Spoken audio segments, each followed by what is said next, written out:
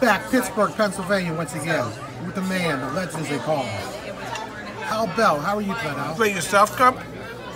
I'm doing fantastic. All right, Hal, we're talking hockey player comparisons. Okay. Alex Ovechkin Okay.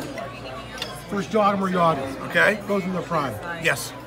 Who's the better player and why?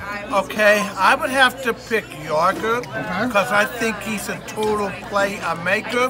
With Ovechkin, he's a great goal scorer, but there's a lot of times that he uh, cherry picks. What do you mean a lot of times? He always does. Oh, oh, okay, well that's even even more than my point. But You so know, did uh, Gretzky and, and Lemieux.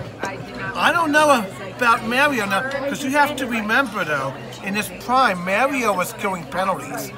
Okay. So, I and I always said that Mario was better than uh, Gretzky. Just didn't play as many years and I agree with had you. had too many injuries. Do you think Jagr is better than uh, Ovechkin? Yes, I agree with you there as well. yes. You know, Anything else you have to say? um, no, I mean I probably have a whole list of play. I prefer the players back in the late '80s and '90s till till to to our days. You know. As usual, we appreciate the man, the legend, Hal Bell.